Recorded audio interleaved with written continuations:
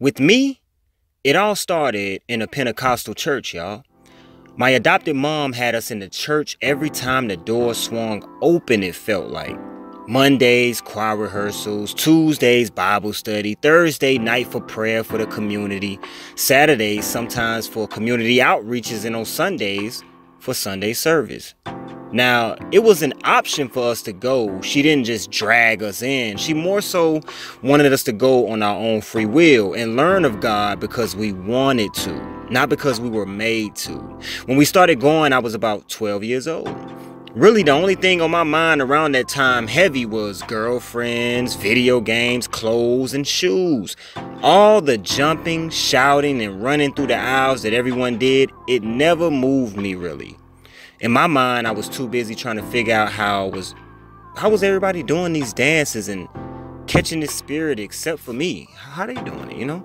I started to think what many may have thought, like, hey, maybe I have sinned too much, or maybe God isn't ready to accept me, or maybe these people put in more work than I did and they have elevated to this dance status.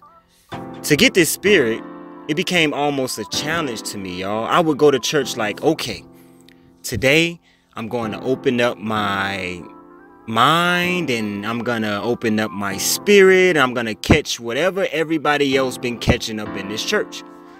I would try to remain calm, think about God, all the pastor just said, and I would simply wait for the spirit to take over my body so that I could dance like everybody else. The thing is, it never happened in that way.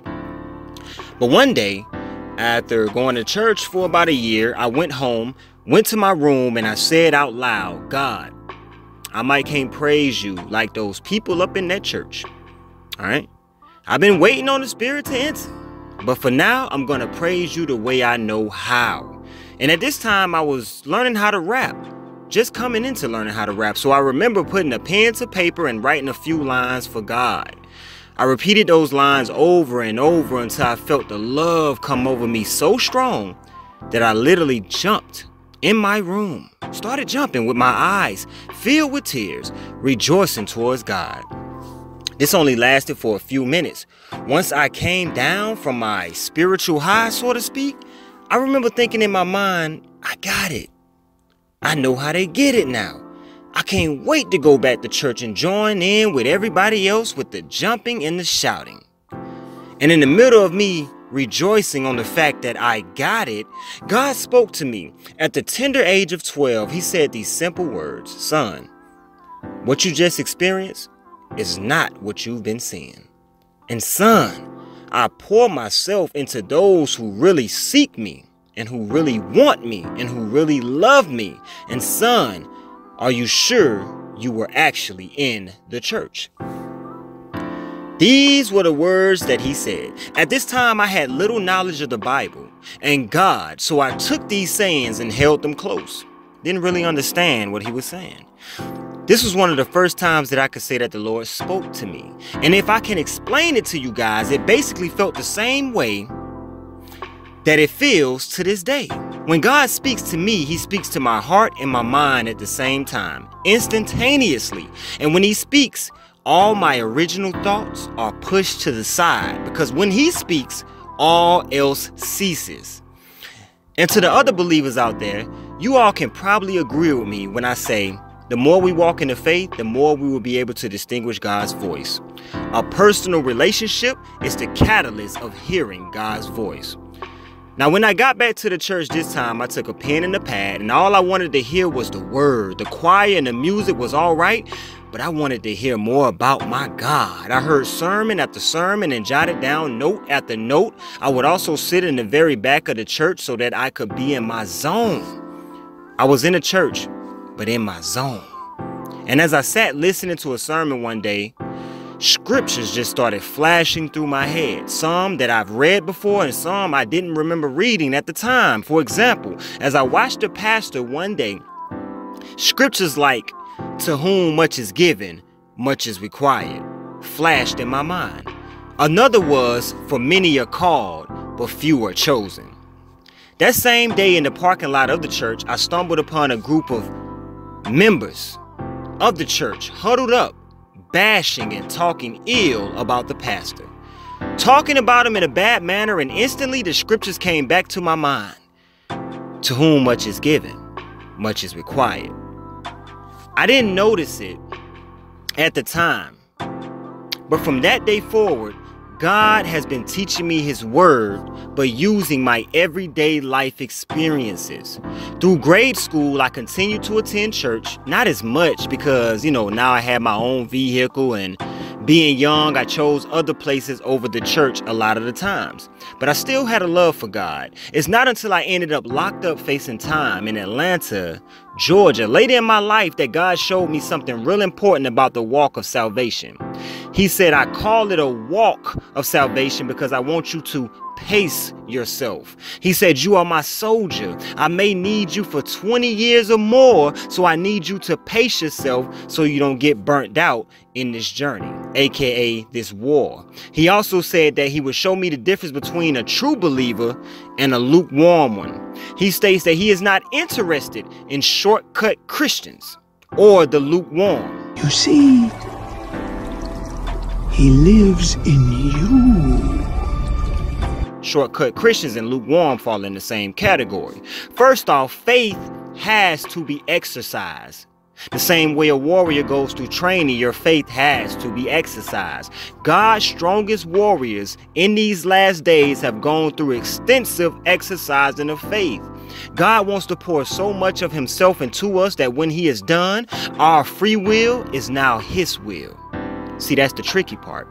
God gave us free will, but the main objective is to give up your free will to become His will. Many times in the Word, God says we can only serve one God. We cannot have two masters. So why do we continuously intertwine with the world when God says, Come ye out from among the world and I will receive you? Everything the light touches. What about that shadowy place? That's beyond our borders. You must never go there, Simba. But I thought a king can do whatever he wants. Oh, there's more to being king than getting your way all the time. See, one of the first steps in this walk is changing those you associate with, changing and modifying your circle that you engage in. A wise man once said, If you tell me who your friends are, I will then tell you your future. He was dead on point with that phrase, y'all. I heard a rich man once say, I surround myself with rich people because they will not take from me and they will show me how to get richer. Same thing in the faith. Remove those who will hinder you and surround yourself with those thirsting for God as you are. Not only will you have people around you who understand what you are soon to face, but you can also be there to support them in their time of need in this spiritual walk. Another important part of the walk is being honest, no matter how much it hurts. If you are honest with a problem, God will be just as honest with your solution. Also, be prepared for God not to work on your timetable with things because the way He works, it usually catches us off guard when He shows up. If we agree that in all things God must get glory, then we must also learn that God likes to work with the unexpected. He likes to create outcomes for his soldiers that no other person walking the earth can take credit for. Same reason he gave Moses a staff instead of a sword. He wanted to show him that the power comes from him only. And it is not the strength of man that moves mountains, but by God's power through faith only. What if I told you that every device you have been given from your TV down to your iPad has been for distraction? Yes, they may make communication a little bit easier in this time period, but we can definitely live without all of this stuff. It is not needed for humans to survive.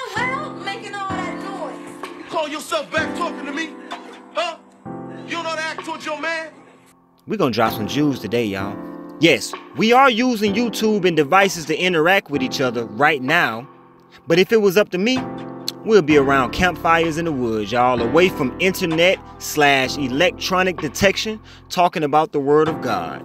We live in a world today where the warlocks and witches have a vendetta against God and they have set up a pyramid system to keep everyone away from God. For example, when you're born, you are signed over as a slave to the queen. When you go to school, you pledge to a flag. While in school, you can pledge to secret groups. While in college, you can pledge to sororities and fraternities and so on. All this pledging going on, and no one willing to pledge to the word of God. I find that strange. You can ask most grown men what the state of the world is like. Just ask them. They won't have a single clue what you talking about. But if you ask them who is better out of LeBron or Jordan, they'll talk for hours on end on that subject, rarely taking breaths in between their soliloquies. The Brown Bomber. Now that was a great boxer. You damn right. I suppose nobody in here ever heard of Cassius Clay. You got a point. Cassius Clay was a This world is spiritually dead, man. We live in a world where if you talk about God in the rarest form, you are instantly labeled as a cult because no one wants to be told they need to correct their lives in order to live. They only want to be magnified for the minor accomplishments they have in this blur of a life. It's sad. It's sad that people cry all day for solutions and for voids to be filled in their lives, and instead of dropping to their knees, they turn on their phones and ask Siri how to cope with life, or Alexia on the Apple product. Alexa, does the CIA want Edward Snowden killed? Sorry, I didn't understand the question I heard.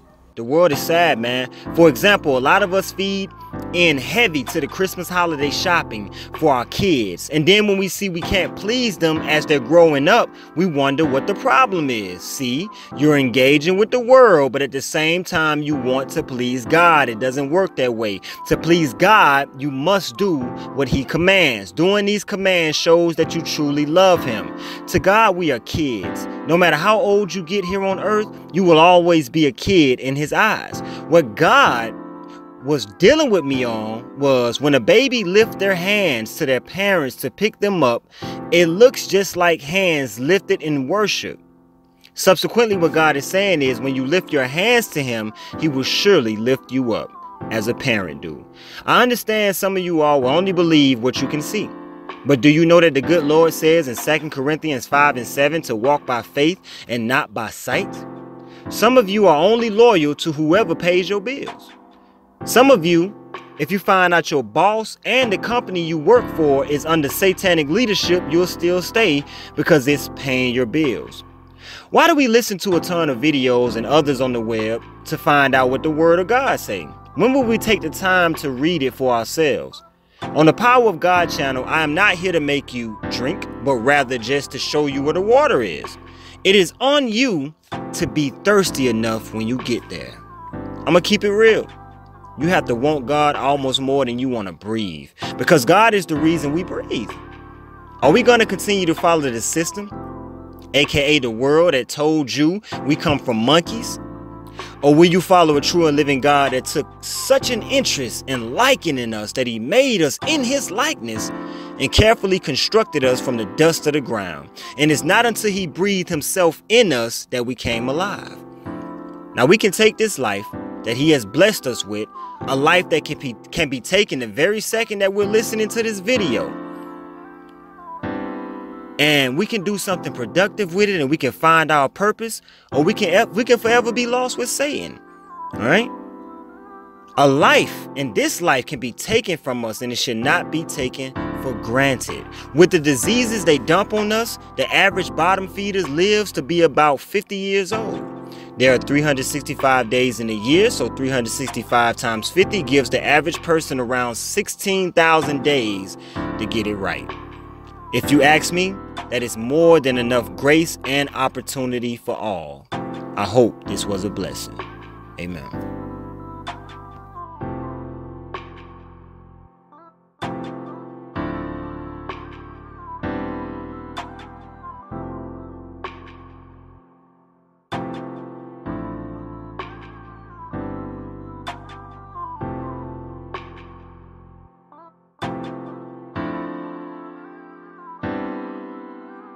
Sometimes the devil allows people to live a life free of trouble